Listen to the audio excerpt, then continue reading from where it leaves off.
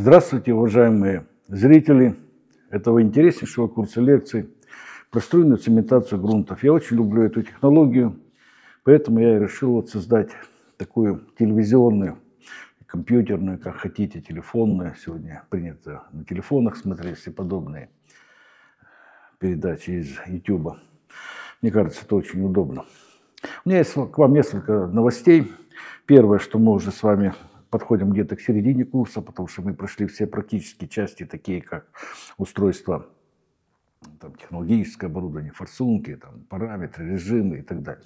И сейчас переходим к самому интересному. Это вот как раз курсу, когда мы будем с вами смотреть только на прочностные деформационные какие-то геометрические параметры грунтоцементных элементов. И вот перед тем, как мы придем к этому изучению всех этих диаметров, там, расходов и так далее, вот э, я хотел сделать такую отсечную передачу, в которой я отвечу на вопросы. Дело в том, что я с самого начала э, нашей лекции говорил, задавайте, задавайте вопросы. Но умышленно на них не отвечал. И, наверное, в последнее время как-то их стало меньше. То есть люди, наверное, пишут, видят, что ответа нет. Но не, не, я буду отвечать на все ваши вопросы.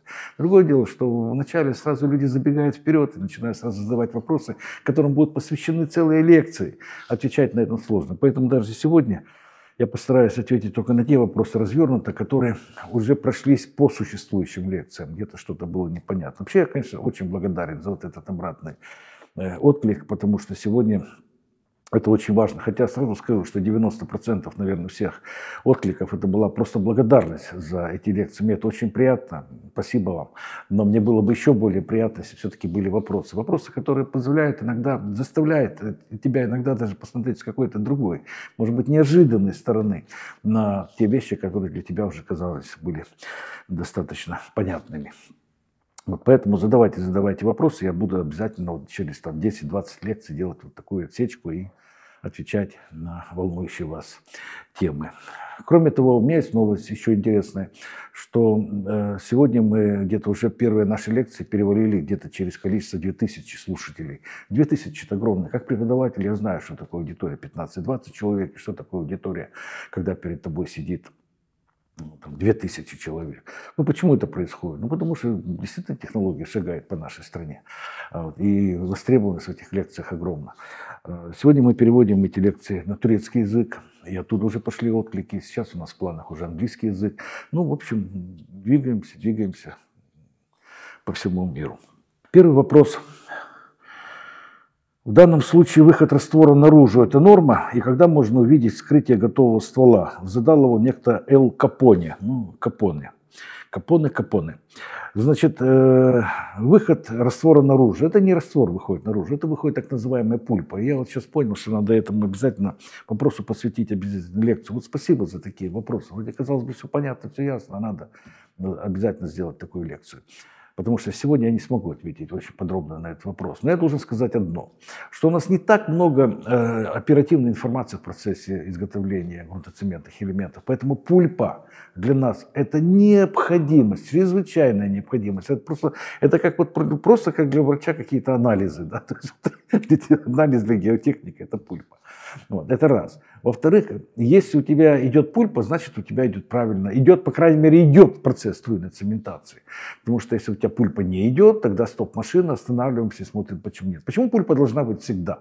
Потому что у тебя есть какой-то объем грунта, который ты обрабатываешь с помощью струи, в нем был какой-то объем песка, какой-то объем э, воды там, или воздуха. Ты туда добавляешь еще воду, добавляешь цемент, э, то есть цементный раствор. У тебя получается два объема, да, ты их перемешал, и понятно, что два объема больше, чем один первый. Поэтому у тебя получается какой-то излишек. И вот этот излишек выбрасывается наверх. То, что выбрасывается наверх, это не цементный раствор, это не вода, это не грунт, это их сочетание. Вот это мы называем грунтоцементной пульпой. То есть это тот же самый э, цемент, вода и грунт, который у тебя в свае. Даже на этом основано то, что по пульпе можно уже как-то оперативно пытаться оценить, как ты ведешь процесс цементации. Правильно ли ты рассчитал расход цемента, правильно ли ты рассчитал э, там, форсунки, давление, там, шаг и, и так далее. Вот. Почему? То есть есть уже методы, да, например, можно залить кубики, и по этим кубикам э, там, через 3-4 дня уже их давануть и посмотреть, да, какими-то формулами. То есть можно уже что-то пощупать. Вот это очень важно. А вот если пульпы нет, значит это плохо. Значит ты перебурил какой-нибудь коллектор и там где-то заполняешь цементом или какой-то в соседнем подвал, ты, у тебя уходит пульпа. Или еще куда-то там по склону где-то там выскочила и тоже где-то течет. Может быть много разных причин. Но во всех вариантах нужно остановиться и посмотреть на проблему. Когда можно вскрыть ствол, ну, имеется в виду ствол нашего грунтоцементного элемента. Вот. Э, ну, когда? Когда уже наш грунтоцемент как-то наберет какую-то маломальскую прочность. Я, конечно, рекомендую, ну, не менее, чем 3 дня. 3-4 дня. Но имейте в виду, что он еще не там, наберет там 20-30% своей, своей прочности, его очень легко повредить. Эскаватором, ковшом там, или лопатой, когда будете его, значит, как-то его а, очищать. И вот в этом случае, конечно, нужно понимать, что вы можете ну, занизить диаметр, это не всегда правильно. Поэтому я так вот больше всегда стараюсь день через неделю, лучше через две, когда он уже набрал прочность, его легко окапывать, легко его оценивать и смотреть на него. Ну вот так, наверное, будет первый вопрос. Спасибо за интересную лекцию. Могли бы уточнить, пожалуйста, почему на пульте управления насоса на графике с увеличением расхода увеличением числа ходов плунжера давление падает. Ну, давление не может падать, если у тебя расход увеличивается. Тут, к сожалению, тут обычное правило гидравлики. Больше расход, если у тебя отверстие одно, то будет выше давление, ничего другого быть не может. Другое дело, что вполне возможно, может быть, не будет линейного возрастания вот, от числа ходов плунжера. Давление будет расти в более меньшем э, объеме. Но это связано, может быть, только с тем, что при высоких скоростях, вот плунжер у нас как работает? Сначала работает на всас, а потом на выталкивании. Так вот, когда у тебя вот эти скорости очень высокие, он иногда не набирает полностью, не всасывает полностью э, свой цилиндр э, цементный раствор, это может быть там 95% заполнения, 90%, и вот с этим эффектом это, наверное, вполне возможно. Вообще, конечно, нужно стараться не работать на максимальных оборотах двигателя, постараться все-таки их уменьшать чтобы, не, э, чтобы насос наш как можно дольше работал. Ну, где-то вот я считаю, что нужно где-то работать, примерно где-то у тебя должно быть 60, 70, 80 оборотов в минуту. Вот это где-то такой ну, достаточно комфортный режим насоса. Если ты будешь работать на максимальных оборотах, ты просто убьешь его быстрее. Хотя, может быть, иногда это бывает и нужно. Еремей Ефремов. Хотелось бы поинтересоваться, струйной цементацией грунтов как-то вредит окружающему миру. Ну, миру, наверное, окружающему вредит любое жизнедеятельность человека. Человек самое вредное существо, наверное, на планете. Но, к сожалению, иногда без этого вреда бывает нельзя построить там какое-то здание на слабых грунтах, провести дорогу для освоения каких-то новых территорий эм, и так далее. Поэтому, к сожалению, да, цемент это не совсем нейтральный э, материал, и поэтому даже вот на свалку его требуется сегодня вывозить только там специальными разрешениями, потому что он уже по опасности уже там имеет какую-то категорию. Конечно, э, накачивание цемента в грунт это не всегда полезно для этого грунта с точки зрения э, живущих там таракашек, букашек и так далее, но с точки зрения укрепления каких-то слабых грунтов для строительства чего-то важного, то это, конечно, приходится это делать. Но э, поймите меня правильно, но по сравнению с другими технологиями, например, там, с технологией инъекционного закрепления с помощью смол, э, там просто абсолютно ядовитых, да, с помощью, например, той же бентонитовой глины, которая там просто забивает и убивает все вокруг себя, цемент еще не самый плохой материал. Если треснул фундамент частного дома, можно ли сделать ему укол цементом, и он будет стоять? Да, конечно, можно, конечно, можно. Но э, этот вопрос меня преследует всю жизнь, потому что очень часто люди звонят, мы даем там какие-то объявления, их читают, особенно по молодости, там какие-то простые газеты, ну, вот из рук в руки, что-то типа этого. Вот, и люди пишут, а сделайте нам укрепление. Ну, знаете, существуют десятки хороших технологий, которые дешевые, простые. Если у тебя комплект оборудования стоит, там, условно, полмиллиона долларов, то понятно, что бежать и укреплять какие-то дома одноэтажные. Хотя дом дом рознь. Я видел, как укрепляли, не будем называть фамилию, в Италии там дом известного промышленников. Тоже одноэтажное здание, которому там то ли 200, то ли 300 лет. И, конечно, там укрепляли ее по полной программе. Так, можно ли делать цементацию на микроцементе? Это АЗH АК-999.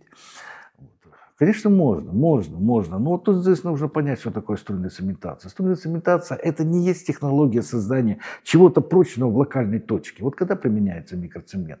Когда нужно сделать инъекцию, ну тогда куда не прокатывает, не проходят цементные растворы. Делают на микроцементах, у них более проникающая способность. Я не буду сейчас оценивать ни в хорошую, ни критиковать это, это. У меня свое мнение по отношению к микроцементам. Было бы так все весело, я бы не занимался струнной цементацией, качал бы микроцементы. Но, видимо, и там ну, я-то знаю, что и там проблемы более чем достаточно. Но вот было такое, да, кто-то вот пытался сочетать струйную цементацию с микроцементами. На мой взгляд, это все излишество. Вот э, самое главное, что если у тебя не хватает прочности, добавь количество свай. Если у тебя, или там уменьши шаг, да, ну это то же самое, что добавить количество свай. Значит, либо просто добавь цемент, обычный цемент, и он уже приведет к росту прочности. Но это все во много раз дешевле. Не забывайте, что тонна микроцемента в 10 раз дороже, минимум в 10 раз дороже тонны обычного цемента.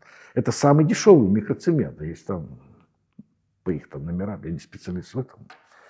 Там, это бешеные деньги, поэтому надо спросить заказчика, пойдет ли он на это дело.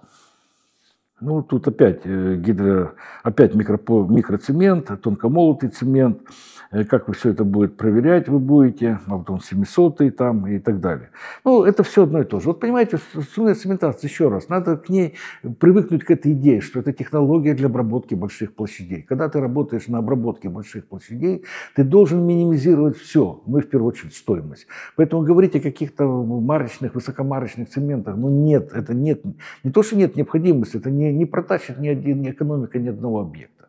Поэтому ну, надо забыть про всякие цементы, как товарищ предлагает использовать там. 700 цемент. У нас был один раз, мы использовали 600 Но это было связано только с тем, что там продавцу некуда было его девать, и нам его продали по дешевке. Мы использовали, да, конечно, мы получали более хорошие результаты, безусловно. Но надо не забывать, что при этом проходило. Сколько это стоило бы, если бы мы покупали по нормальной цене. Ну, так, когда тебе продали. Нужен ли сушитель воздуха после компрессора? Ну, понимаете, когда мы работаем с каким-то пневмоударным инструментом, да, конечно, там э, влага, которая находится в воздухе, она обязательно, в сжатом воздухе обязательно будет там где-то при низких температурах там превращаться в лед, все это будет мешать работать системе. Но если мы говорим о том, что воздух и э, содержащий в нем влага попадает и формирует рубашку при двухкомпонентной технологии, а внутри у тебя находится вода с цементом, то вот эта влага в воздухе по сравнению с водой в цементе, в цементном растворе, это, конечно, вообще ни о чем. Ничего, конечно, делать не надо. Какой цемент нужно использовать для буровой? Ну, я только что ответил. Вообще, на самом деле, какой цемент надо использовать вообще для струйной цементации? Это так, более широко возьмем вопрос, да, наверное, о нем хотел человек спросить. Эм, я бы ответил так. Тот, который у вас есть рядом. Потому что струйная цементация – это, опять же, какие-то большие завесы, горизонтальные, вертикальные, там, контролирование грунта под дорогами, там, несколько километров. И тогда тебе нужен большой объем цемента. Ты уже не, ты уже не делаешь как бы ставку на то, какой он там будет 500 или 400. Да и 400 хорошо, и 500, конечно, лучше. Но нет его, давайте 400. А 300 это сегодня наша промышленность, по крайней мере, сколько я знаю, уже практически не упускает. Более высокомарочные вещи, они все очень дорогие. Э, со специальными свойствами, там, сульфатостойкий цемент в больших объемах, это, это, как правило, спецзаказ, и тоже очень дорого. Поэтому, как всегда, нужна логистика, найти ближайшую точку, откуда ты сможешь возить цемент в больших объемах, там, 2, 3, 4, 5, 6 цементовозов в сутки. И вот тут тебе сама жизнь подскажет, где взять цемент в таком объеме и какой он при этом будет. В силосе нет давления. Сам туда руку засовывал, э, когда в нем было 50 кубов цемента, а шнек может заклинить. Как вы решаете вопрос с камнями? Но руки никуда засовывать не надо. Все, кто куда-то руки, куда не нужно засовывать, как правило, потом об этом жалеет, скажем так, скажем мягко. Для этого есть какая-то лопата, лом, там еще что-то, палка. Вот. Но Э, конечно, человек засовывал, чтобы посмотреть, почему цемент не сыпется, я его понимаю. Вот. Но, как правило, мы в таких случаях, да, такие случаи, к сожалению, бывают очень часто, особенно связаны с нечистоплотными поставщиками цемента, когда там что-то отгружают низкого качества. Ну, что в этом случае надо делать? Снять шнек, Э, повесить на его место новый, ну, понятно, что прочистить, убедиться, что у тебя выпал цемент, закрыть шандор, повесить новый цех, открыть шандор, продолжать работать. И в это время разобрать шнек. Но это только для вертикальных силосов. Для горизонтального силоса все намного сложнее. как провернуть шнек, его не заменить так просто, да, его надо провернуть, как его провернуть более мощными моторами или там подкатывают какие-то умельцы буровые. Ну, в общем, горизонтальные шнека великолепные, прекрасные. Горизонтальные, извините, силоса великолепные, прекрасные, только там, где у вас есть хороший цемент. Если цемент у вас плохого качества, если у него была большая дорога длинная на объект, где-то он уже там немножечко подхватился и с камнями, не дай бог это мешковой цемент, который вы там загружали через растариватели, эта проблема будет вылазить у вас каждую смену, поэтому нужно иметь в этом случае только вертикальный силос. Лично я люблю вертикальный силос. Он понятен, ясен, прост, ремонтопригоден. Вот с ними люблю работать. Вот сейчас будет очень интересный вопрос. Уважаемые коллеги, я занимаюсь струйной цементацией в качестве технического руководителя, генподрядчика, контроль, техника, люди – все это интересно, но хотелось бы спросить и попросить рассказать более подробно, как какие параметры влияют на формирование грунтоцементной сваи. Как ведет себя струя, как меняется ее сила или уменьшается, или увеличивается, если у нас меняются форсунки, давление, водоцементные отношения. Как можно э, менять и поиграть с каким-то давлением, подобрать другую форсунку, э, увеличить давление, снизить а может быть увеличить количество цемента на погонный метр, рассчитать другие параметры, а чтобы не трогать материал, увеличить скорость, уменьшить прочность, увеличить прочность и так далее. Вот у нас нет, э, как правило, проект содержит только основные, как он сказал, укрупненные параметры. Это давление, расход, марка раствора, конечная прочность, а вот всего промежуточного нет. И каждый делает, что хочет, а каких-то рекомендаций на эту тему нет. Ну, на самом деле, чтобы ответить на этот вопрос, я должен вам сказать, что я люблю говорить такую фразу, что грунтоцементные элементы делают двое. Это инженер-геотехник и Господь Бог. Вот Господь Бог создал твердь земную. Но не человек же ее создал. А кто, мы не знаем. Поэтому ну, для нас сегодня это так на нашем уровне познания окружающего мира. Поэтому что нам Господь Бог дал? Дал песок, получится прекрасно. Песок, цемент, вода, почти бетон. Дал глину, будет глина, цемент, вода. Не очень хорошо, но что-то тоже не самое плохое. А вот если он дал, там, например, торф, ил, вот, э, то тут, конечно, караул. Поэтому прежде всего результаты, не существует стройной теории, которая говорит, что вот если у тебя глина там с каким-то числом пластичности, там, и ты возьмешь цемент такой-то марки, такую-то форсунку, такое-то давление, такой-то расход, то ты получишь что-то, то-то. Нет такой теории нигде. Зато в основном нормативном документе, который существует и действует на территории всего Европейского Союза, а в том числе теперь уже и в нашем российском нормативном документе, всегда присутствуют такие фразы, что все параметры для достижения той или иной прочности, диаметра и так далее, они достигаются в процессе обязательного проведения опытных работ. Вот перестроенная цементация – это такая технология, в которой, еще раз повторяю, нельзя просто так все рассчитать. Нету теории. Поэтому всегда нужно проводить опытные работы. Мы как-то один раз на одном из объектов в городе Сочи опытные работы проводили целый год.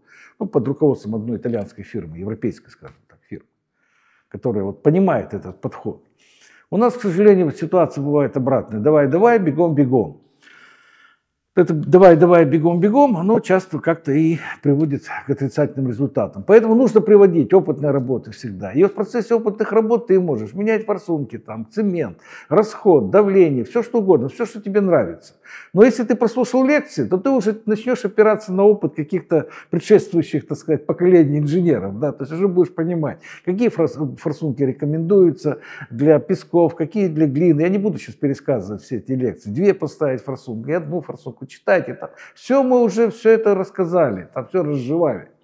Вот. И самое главное, что ты должен сделать, потому что вторым важным параметром после грунта идет расход цемента. Вот ты должен сделать там 200 килограмм на погонный метр, если мы говорим про однокомпонентную технологию. 200, 300, 400, 500. Откопай, посмотри, какой у тебя диаметр. Возьми керны, посмотришь, какие у тебя прочности. Я понимаю, все непросто. А что на глубине? А какие там свойства? Все непросто. Но, по крайней мере, с того, с чего можно оттолкнуться, оттолкнись. И тогда ты уже будешь, ну, если не все знать о том, что у тебя получится, то, по крайней мере, очень много, и ты получишь хороший результат. Ну, а если уж там чего-то как-то невозможно добиться, каких-то э, пожеланий проектировщиков, то проектировщик должен принять на себя э, такую задачу. Ну, хорошо, не получили мы прочность, ну, давайте тогда побольше сделаем свай, да, то есть уменьшим шаг и, и получим э, прекрасный результат. Опытной работы, только так. А взорвалось масло в насосе, потому что оно было не компрессорное. Действительно, у нас была лекция, связанная с насосами. Там, наверное, я рассказал, уже сам плохо помню, значит, история о том, как мы э, на одном из первое, самый наш первый насос, у него на объекте он как бы взорвался. Ну, это так красивое слово. На самом деле у него крышка, куда заливается масло, просто вылетела, потому что масло воспламенилось. А воспламенилось потому, в коробке насоса, да, воспламенилось потому, что Крисков и там, где сумасшедшее давление, сумасшедшее трение, если у тебя там плохо легла постель, и Крисков плохо скользит по постели, у тебя действительно повышается резкая температура, там возрастает и воспламеняется масло, и, соответственно, произошел такой эффект. Это говорит о том, что покупайте насосы у проверенных поставщиков. Не покупайте там левые, старые, там после ремонтов, там непонятных гаражах и так далее. Вот тогда, тогда у вас не будет таких эффектов. Как укреплять глинистые грунты? Как укреплять фундамент частного дома? Ну, я уже отвечал на этот вопрос. Это вопросы не нам. Мы были молодые, мы давали объявления, к нам очень часто приходили такие вопросы, приходилось людям объяснять, позвоните в другое место, там вам дадут более дешевые технологии. Сваи Крымского моста – это ваша работа? Нет, мы не работали на Крымском мосту. Э, и по моим данным там и не было струйной цементации. Но может быть что-то я не знаю, поэтому подскажите, я буду только рад. Подскажите, пожалуйста, армирование сваи на джет-граутинге – это распространенное явление? Есть ограничения по глубине? Какие нормативные документы? Ну, нормативный документ у нас один, 291, и он предполагает, да, разрешает проводить армирование свай. Значит, нам, мы должны с вами понимать, что э, струйная цементация – это два направления. Либо мы создаем фильтрационные завесы, например, горизонтальные, вертикальные, там, где нас не требуется никакие напряженные состояния, нас не волнуют. Либо мы создаем силовые конструкции, да, опять же, так сказать, вертикальное ограждение котлована, которое может выполнять и функцию противофрикционной завесы, и как силовое ограждение. Вот в данном случае мы знаем, что грунтоцемент у нас, к сожалению, как и бетоны, ничего там зазорного нет, не воспринимают растягивающих напряжений. А любое, любое ограждение – это балка, на нее действует давление грунта, есть растягивающее, сжимающее напряжение. И, соответственно, там, где растягивающее, происходит разрушение грунтоцемента. Вот поэтому, чтобы этого не было, их всегда армируют. Вот это такой наиболее яркий пример армировки э, ограждений котлованов. Но тут надо понимать, что дальше, опять же, у нас была лекция про вертикальные сваи, мы с вами вами говорили, очень коротко повторю, до 10 метров можно что-то армировать с более-менее какой-то гарантией результата, а после 10 метров глубже, чем 10 метров обычно, я вот сам себе не дам гарантию, что я проармировал правильно, потому что, к сожалению, когда идет труба, и она перестает идти, ее там давят, там, и куда она идет, то ли уже в элемент, то ли она уже вышла из него, и там где-то в грунту. Если это временная конструкция, ну, где-то как-то можно закрыть глаза, но если это постоянная конструкция, не рассматривается. Поэтому здесь так. Нужно армировать, армируйте. СП это разрешает. Трубами проще всего, вспомним, э, линейными элементами, такими как там двутавр, уголок, швеллер, это все гораздо сложнее, но возможно. Ну, а армокаркас, на мой взгляд, это нереально. Но кто-то говорит, что я это делал, ну, слава богу. Так, как можно с вами связаться, чтобы применить эту, ну, эту технологию? Очень легко. Значит, э, у нас есть э, группа предприятий, которая называется Малинин Групп. Просто берете, набиваете Малинин Групп, там всегда вылетят какие-то сайты и строительного предприятия, входящего в состав этой группы, и машиностроительного, и анкерного. Там всегда нас можно найти. Красивая картина рядом. Что за произведение? Да, мы стараемся как-то менять эти картины после нескольких лекций. Вот сейчас там какой-то уфимский башкирский певец значит, поет и свои баллады, пытается что-то донести народу, а внизу змеи ползают. Вот я где-то себя ощущаю примерно в такой же роли. Вот я что-то пробиваю, пробиваю, пробиваю. Вокруг меня вот ползают эти змеи в виде каких-то неграмотных проектировщиков, в виде, так сказать, каких-то жадных заказчиков там и так далее. Ну, хорошо. Ну, а тогда, видимо, была красивая картина с верблюдом, с юртами, да, она была более позитивной, наверное. Так, хотелось бы услышать и увидеть лекцию по мачтам и полиспасной системе мачт буровых машин. Да, действительно, буровые машины делятся на два, мачты буровых машин делятся на два основных типа. Это которые, где вращатель или каретку вращателя приводит действие вверх-вниз, он ползает с помощью гидромотора, который крутит звездочку, как на велосипеде, а велосипед цепь, как на велосипеде, и, соответственно, там каретка ходит. А второй вариант ходит домкрат вверх-вниз, он связан с кареткой системой тросов, канатов, и там тоже тоже происходит движение вверх. Какой из них лучше, какой хуже? Знаете, в мире, на мой взгляд, 50% машин делается так, а 50% так. Мы тоже выпускаем какие-то типы машины на такой системе, какие-то типы на другой системе. Вот поэтому сказать, что что-то имеет явное преимущество перед чем-то, я не могу. Ну вот как-то мы пытаемся тоже ответить на этот вопрос, пока у нас так счет примерно 1-1. Фигара лучше МДТ, буровая машина имеется в виду. Да, наше предприятие, входящее в систему Малин Групп, выпускает буровые машины Фигара, э, которые, вот так на первый взгляд, если посмотришь, они очень сильно напоминают машины МДТ. На самом деле это, безусловно, не так. Значит, было, конечно, взгляд машин. Я люблю очень машины МДТ. Я очень люблю, у меня их было много. Потихонечку мы освежаем наш парк. Вот, и мы взяли что-то лучшее вот, вот из идеи, даже не из компоновки, а из идеи машины мы взяли лучшее, потому что эту машину проектировали, надо снять перед шляпу перед теми конструкторами, кто ее делал, они ее проектировали именно с позиции струйной цементации. А вот очень много других буровых машин, которые выпускает точно так же прославленная Италия, это машины, которые были переделаны или дополненные какими-то механизмами, чтобы выполнять струйную цементацию. Но это не специализированные машины, и поэтому я не буду, конечно, называть тут ни названия, ни фирмы, но поверьте мне, не так просто найти буровую, хорошую буровую машину, заточенную под струйную цементацию. Тут не так все просто, но это опять отдельная лекция, и они там были. Ну и, наверное, в заключение я расскажу, ну так немножко, чтобы поднялось настроение под конец лекции. Просто зачитаю, мне самому было интересно, мне всегда нравятся такие вот вопросы. Задача об объеме цементного раствора с ВЦ 1.0 достаточно проста и в первом приближении не требует никаких откровений. Любому человеку, имеющему маломальское отношение к практическому строительству, а это раньше для получивших высшее образование происходило в стройотряде, после первого или после третьего курса, я тоже был в стройотряде, я это знаю ситуацию. Хорошо известно, что 10-литровое ведро с цементом весит около чуть более 30 килограмм то есть его не поднять на спор. А в 50 килограмм мешке цемента полтора ведра. Отсюда легко выйти на результат, которому в лекции посвящено достаточно много времени. Как сказал сам Алексей Генрихович о точности, с чем я во много согласен, для инженерных, особенно прикидочных расчетов, совсем не нужно звонить в цементный завод или рыскать по интернету. Думаю, что я далеко не единственный, кто смог дать ответ в течение одной минуты.